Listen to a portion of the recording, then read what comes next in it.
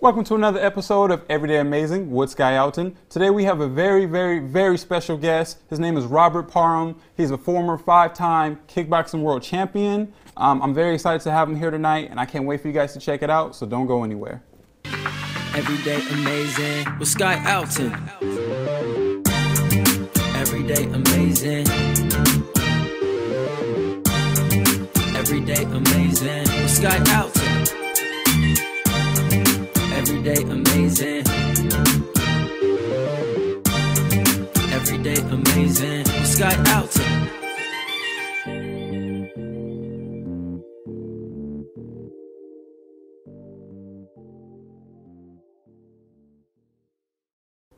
Welcome back to the show. We have Robert Parham, former five-time world kickboxing champion. How you doing, man? Hey, I'm great. I'm having a great time here.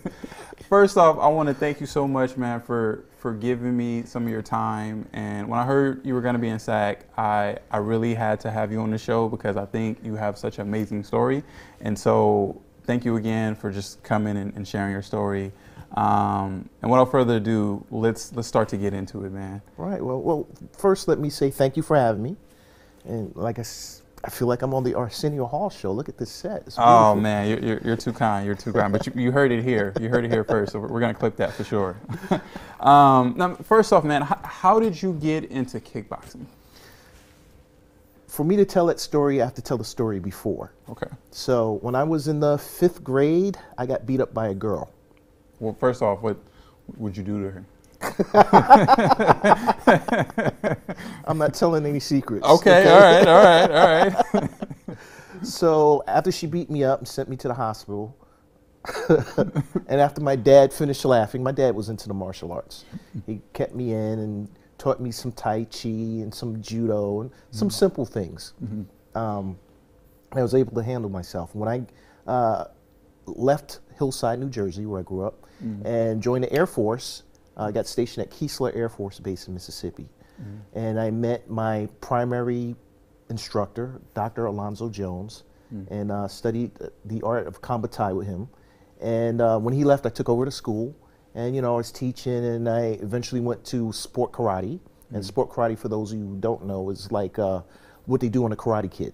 Okay. you know. So but, but not with full contact. When you're not supposed to do it with full contact, but some people. do. got it. Just enough to show technique that I could have hurt you if I wanted to, but I just tapped you to let you know. Right, that's the idea. But Got there it. are people who say a knockout is better than a win. They'd rather get disqualified. Just Well, that, that, sounds like bad right there. You know. Like- so um, uh, after I did that, um, I had a dare. Someone dared me to go into kickboxing. Well, if this tech, if your technique is so good, uh, you should be able to do it in the ring. Mm. Okay, let's do it. Hey, you know. So you know, I got with a promoter, and uh, he got me into a, a few fights. And actually, in my second fight, I had a shot at the vacant world middleweight title. in your second fight. My second fight. Wow. Now, who, do you remember who- the guy you fought? Uh, his name was Billy Johnson. Billy Johnson. Billy the. Hammer Johnson. Real strong guy. And this is your second fight, and you're fight. fighting for a title. Fight for the world kick karate and kickboxing title. World Karate and Kickboxing Council World Middleweight title. Wow. Yeah. See, what, what people don't understand though is I had an extensive amateur boxing background. Oh, they didn't know that. They didn't know that. Okay, that wasn't on a resume. See. I've been in the ring with Kelcie Banks, who went to the 1988 Olympics. wow. I've been in the ring with Roy Jones. Oh, we man. all know who Roy Jones Yeah, is. we all know Roy Jones. Yeah. you know, I've been in the ring with Frankie Liles, who was the former WBA middleweight champion of the world. So I've been in, you know, I've had an extensive uh, uh, boxing career, and it transferred in kickboxing because I find, and this is no knock on kickboxers, Mm. but during my era, there weren't a lot of kickboxers who boxed very well. Hmm. Got I mean, it. they could box, but they, they, there were some things mixing from their game because they concentrated more on kicking. Ah, okay. see, that, ma- that makes sense. So you were better with the hands. I was better with the hands, you Ah. know, and, and I have these long legs, so that helped out a lot too. So okay, so tell me a little about that transition from traditional uh, karate to was, was that a hard tradition like change for you or no, no, Okay. it wasn't. It wasn't because um, in a discipline, once you understand the rules and you're disciplined enough and you train for that, it's it's just execution. To me, a fight is a fight. You just tell me the rules and I'll do it. You know. Spoken like that's a true champion mindset right there. You know, fight is a fight. Just tell me the rules and I'll get it done. There, you there you go. there you go.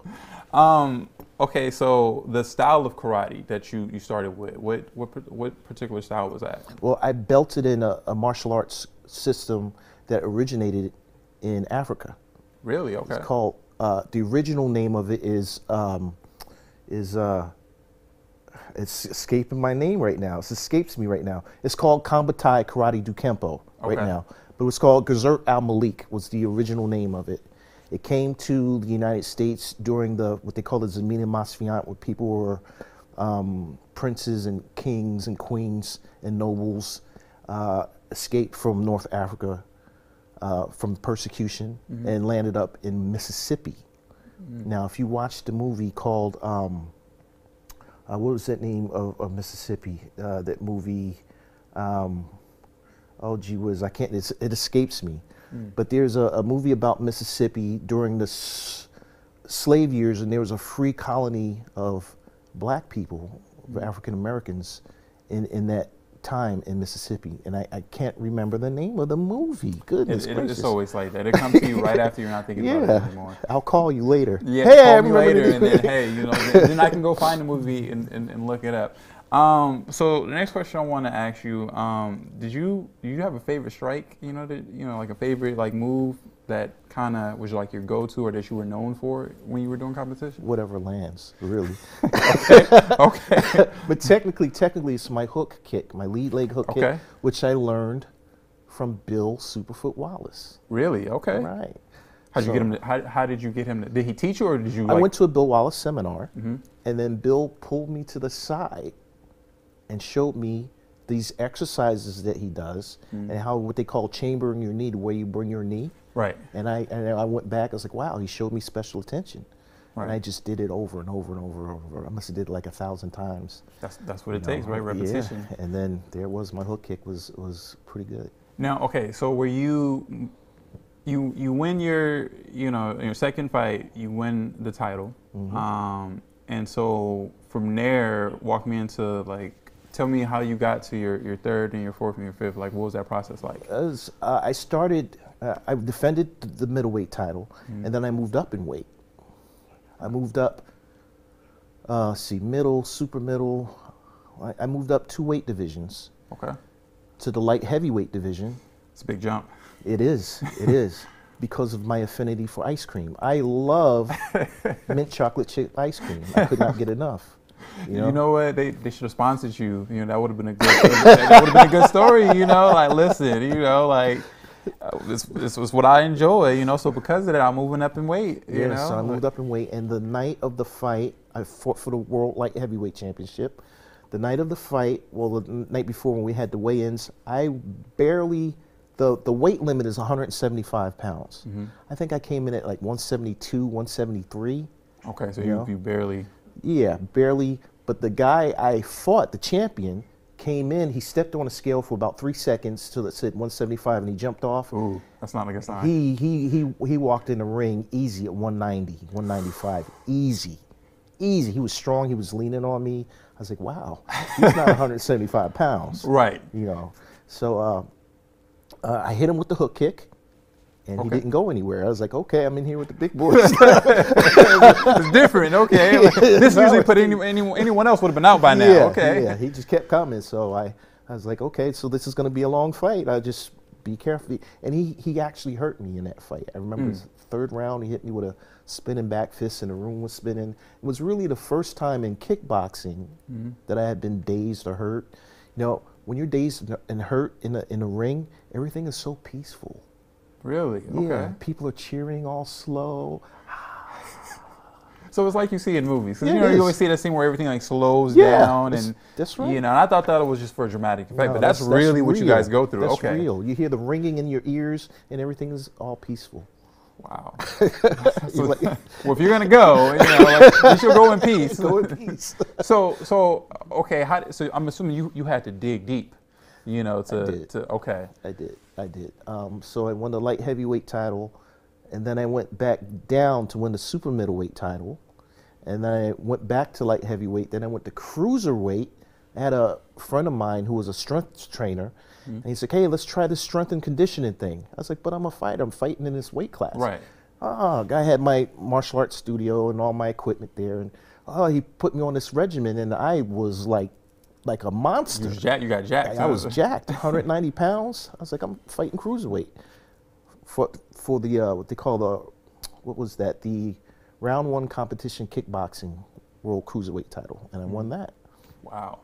And then I fought heavyweight because I once again I couldn't stay off the ice cream, and after I had all that weight on me, all that muscle, I couldn't put it off. Couldn't lose it. Yeah. Couldn't lose it, and fought heavyweight, um, won that title, and then that was it for me. Now, what would you say? I always hear fighters a lot of time like weight cutting is Mm-hmm. a lot of time like their toughest challenge. It is. So you you agree like that was It is. For me, during my sport karate years, I had to weight cut because I had to fight middleweight, um, 160 pounds, 155 pounds, depending on what uh, area of the country you go to, they have different weight limits. So weight cutting was really hard back then. Um, but when I was kickboxing, I made much sure that I was comfortable so I didn't have to weight cut. okay. You So you fought closer to like your natural I weight. fought so close to my natural weight so that I wouldn't have to, you know, punish myself for that. Right. You know, um, the only time I really had to make weight is I did a comeback fight. a comeback fight. Okay. So I get a phone call from a friend of mine. Hey, Robert, we're putting on this show at the uh, President Casino here in Biloxi. Like you to be part of it. Sure. What do you want me to do? You want me to commentate? You want me to ref? Right. You know, you want me to work somebody's corner? Uh, Anything. Right. Oh, we want you to fight. Dude, I haven't fought in three years. you know, I'm, I'm not doing that anymore. Right. Well, we'll let you fight for a title. I got enough titles. Thank you. We're going to give you X amount of dollars. I'm like, okay, where do I sign? Like, listen, I got enough titles, but now we're talking money. Yeah. Hey, you know, maybe maybe So- I can maybe I can do. How many rounds? Uh, Okay. Yeah. So I fought uh, under a different set of rules. Mm-hmm. You know, kickboxing had evolved since I stopped, and you, it's called Sanshou, where you can actually sweep and throw. Um, have you ever heard of Cung Le? yes. Cung Le is like the king of Sanshou. So uh, I was on the undercard of his fight Wow. that night. Yeah, I remember Cung Le was really, really, really big. I think at one point, I think he didn't he transition like Strike Force. Yeah, Strike Force yeah, in the yeah. UFC. Yeah. Yeah. So anyway, that night I fought, and um, fighters get old quick. All You the wear and tear. Yeah, you can see that. Wow, a year ago I wouldn't have missed that kick. I'm missing these punches by a quarter of an inch. My timing is off. Right. And the guy I fought, he hit me. I'm gonna tell you his name in a second. He hit me with a kick. I guess it was the fifth or sixth round. And then next thing I knew, I was like, "Wow, that light is out up there. Somebody needs to fix that." So you were on the ground. I was out. Oh, know. oh, so you, you went out, out. I went. I went out on my way down, and me hitting the ground woke me up. Wow. And I really didn't know where I was. And I that, that was the first time in your career, then. in my kickboxing In your career, kickboxing yeah. career, So wow. like, wow, look at those lights. Why are all these people here? Why is everybody looking at me? What's going on? And the guy I fought was Pat Barry. Pat Barry. Yes. yeah, I was gonna say I, I know Pat Barry. Pat Barry is pretty big in the in the you know kickboxing world. Yeah, and so I yeah. Pat Barry that night. Wow. wow. for Now, did, first of all, how old was Pat Barry when you fought him too? He was like 19, 20, 21. He So- was just a baby. Yeah, so they, they you know they took you out of they had you for a comeback fight fight a much younger younger Yeah, guy. I was, I was, how old was I? 35? Fighting a 19 year old up and coming Pat Barry. Yeah, up and coming Pat Barry. And here's the funny thing I had sparred him like two weeks before. And I was supposed to fight somebody else, and that person backed out, and they put Pat in. Oh. So, uh, And so he you know he already got a taste of like you know Yeah. you, you know what you were working with and your technique and all that. Oh man, so you know. but he's Pat's a really great guy, you know, a really great guy. So I followed his career and support him as much as I can, you mm-hmm. know. So would you say like uh, within the kickboxing community, you got, I mean I know it's competition and everything like that, but would you say like you guys are all, you know, pretty close? You know, like at, at the time you were in it, like you always knew each other and y- everything. You know each other. You uh, um, trying to get too personal with Right. someone in your weight classes, you might have to fight them. Right, right, right, right. Uh, but yeah, we were a tight community. It's a small world, small community, you know. Okay. We're going to take a quick PSA break and we'll be right back after these messages. Everyday amazing with Sky Alton. Hey everyone, guess who's back? You guessed it. First Lady Felicia Kay here, and by popular demand, I will be returning for a season two of the First Lady Point of View show. Find out how you could be a guest on the First Lady Point of View show by contacting us at First Lady Point of View show at gmail.com and make sure you also follow us on all social media platforms. Facebook us at the first lady point of view show instagram first lady point of view show and go on over to tiktok and follow us on tiktok as well the first lady pov i can't wait to have you all. Make sure you tune into the first lady point of view show courtesy of access sacramento and comcast xfinity on channel 17 i can't wait to have you all. Until then see you soon Hello, my name is Sky Alton, host of Everyday Amazing with Sky Alton. Be sure to check it out on Access Sacramento, and you can also follow me on Instagram at Sky underscore Alton. And check out past episodes of the show on YouTube at Everyday Amazing with Sky Alton. See you then. Welcome back to the show. I'm still here with Robert Parham. So, you you talked about your competition. You talked about moving up in weight classes and you know conquering all these uh, these weight classes and getting these championships. Now, talk to me a little bit like after retiring from kickboxing. What was because I, I I understand you do some acting. Yeah, yeah. So I, I wanted to leverage my uh, sportsmanship, as you would, notoriety, into film. You know, I love film. I love acting, et cetera, and so forth. I had my first shot at acting, if you would, um, on the big screen as an extra in Under Siege. You know, I know that movie. so uh, if you stop the clip right when all the water is coming into the ship and there's this guy by the steps, that's me. I'm, I'm gonna go back and watch it. I'm gonna be looking for that clip. right there. so uh, uh, I had a good friend, um, uh, Master John Graham, Grandmaster John Graham now, Hmm. uh, who was a uh, stunt coordinator on some films, and he called me and said, "Hey Robert, I want to get you in the films, get you in a movie, da da da da," and uh, um, and that's how it started. I got on set and I got hooked. Mm. I was like, "Wow." What you what you what you love about it? Like I don't know. I, I really couldn't put my finger on it, but I knew that was for me. Mm, I just- knew that just like I, just like being on set, you know. Even though you know those sets were long and we were wet, you know, we're waiting for certain actors to come out, and I loved it. Mm. I absolutely loved it. John called me again, and I got into uh, um, a movie that was released in Germany called Watership Warrior. Now, but before we continue, take a look at this this picture right here. You know, is this is this now is this one of your uh, your casting call pictures? Or? That is a publicity photo that we did uh, a couple years ago when I was directing a movie in Memphis. Um, and uh, sitting right across from me is Hawthorne James. Really? yeah, really? wow. yeah. Okay, so so you you had your first movie role, and you know you're from there. You you knew you wanted to do it more. Um, what was the like out there, in, you know, in Hollywood and stuff like that? What what was uh, the process like? Did you find it easy or hard to kind Well- of break in, or When I did those roles, I was still in Mississippi. okay, Mississippi? Okay, so after Hurricane Katrina, at the time when I was married, blew our family to California. I was like, wow, I'm in California. I can really do this. Right. You know. Um, but the roles that were offered to me were thug, Mm, drug dealer, or cop.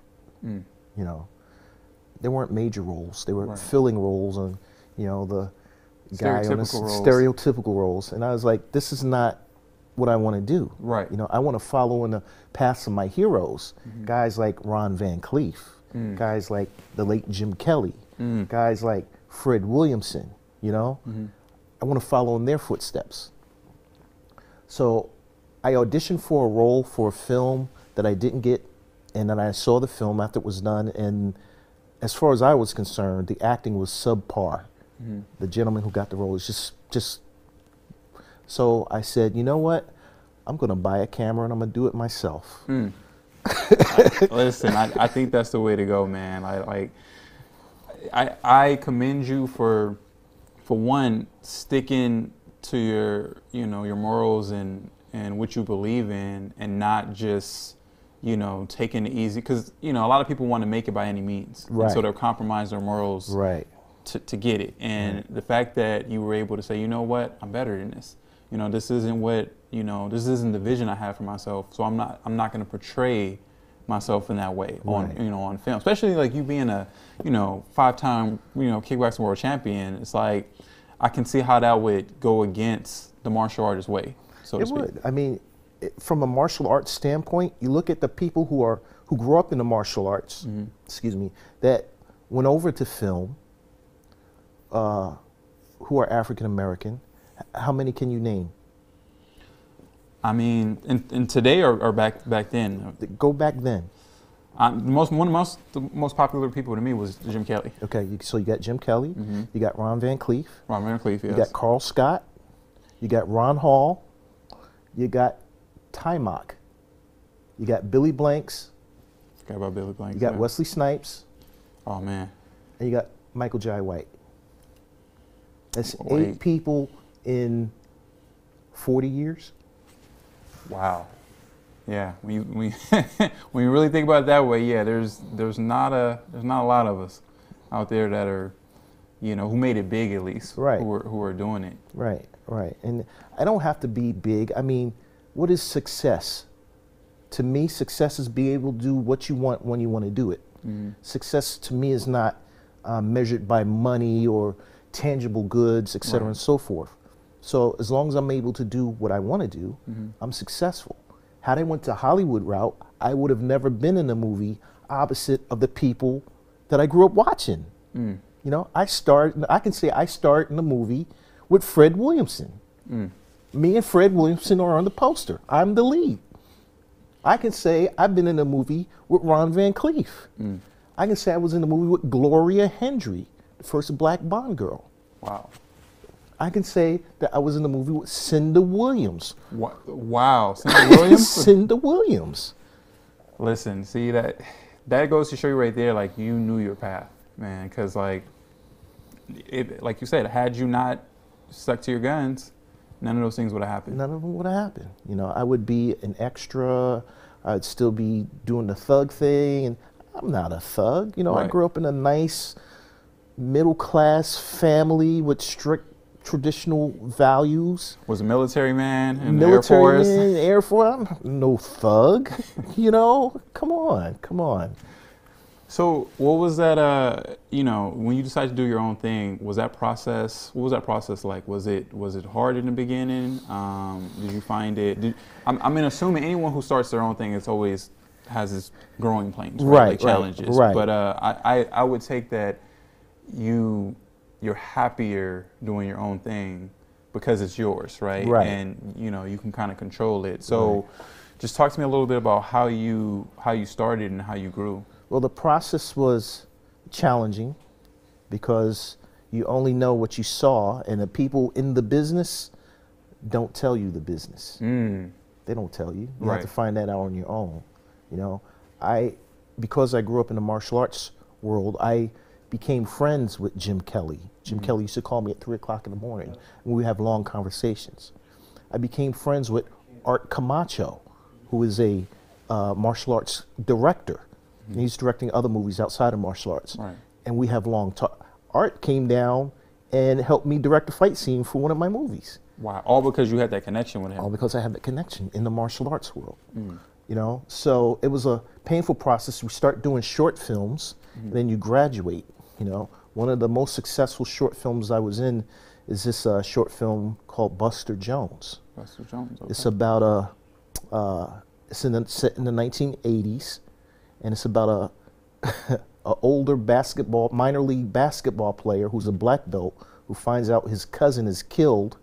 He goes to investigate his cousin's killing and finds out there's a bigger plot to blow up the 1984 Olympics. Wow. Wow. Okay. All right, so that's on YouTube. Okay. I'm All about right. to check that out. Buster Jones, yeah. Mr. Jones. It's, it's it was cut as a trailer, so we're gonna uh, eventually do the, do the whole thing. Okay. you know. Yeah, um, man, like just just hearing like your whole uh, beginning, like you know how you got into you know the martial arts world to kickboxing to eventually transition into to film, and how your connections, man, like from the martial arts world and the kickboxing world helped you over because. A lot of people they may not always make that connection. They may think, okay, this you know he was a sports guy, but you know this is film and so what you know how was that gonna how was that gonna help you you know and the fact that you knew all these people man and you had a good relationship with these people and they liked you just shows a lot about your character and you as a person Well, well, thank you. You know, I, I I'm gonna I'm gonna take this as a compliment, and uh, pay you later for that. I, I've just been fortunate. You know, I'm fortunate to be where I am. I'm fortunate to have the friends and the mentors that I do. Um, I, I can't mention everybody because the list Right. is endless. With people like Ray Mercer, former WBO heavyweight champion, Shonie Carter from the UFC, uh, Don the Dragon Wilson, Cynthia Rothrock, Eric Lee, you know, I've mentioned Conan Lee, wow you know, uh, Grandmaster Eric O'Neill. Uh, just so many people have been in my corner supporting me um, and giving me guidance, you know, and, and it's not like you star, I star in a movie with these people and then that's it, you know. We, we talk often, you know. Right. I I was just saw Fred Williamson, uh, I think three weeks ago you know um, and, and we, we talk i talk to everybody often because i have to have the knowledge so i can pass it to somebody else and make their life if they want to do this easier right you know Well, once again, man, I want to thank you so much, Robert, for coming on the show and sharing your story. And I think anybody who sees this episode and, and sees how you got started to where you are now, I definitely think they're going to be inspired. And once again, man, I thank you for all the work that you've done, like just in the kickboxing world and just your story, man, helped so many people. I was inspired by like your story. Like when I first heard about you, it inspired me to keep doing what I'm doing. So thank you so much again for coming on the show. Um, and I want to thank you guys out there for watching another episode of Everyday Amazing with Sky Alton. Once again, you can catch episodes on YouTube at Everyday Amazing with Sky Alton. And you can reach me at Sky underscore Alton on Instagram. Until next time, I'll see you then. Everyday amazing with Sky Alton. Everyday amazing. Everyday amazing with Sky Alton. Everyday amazing. Everyday amazing with Sky Alton. Thank you again, Robert Parham, for coming on the show and speaking with me. And everyone, be sure to check out his new movie, Mad as Hell, on Tubi.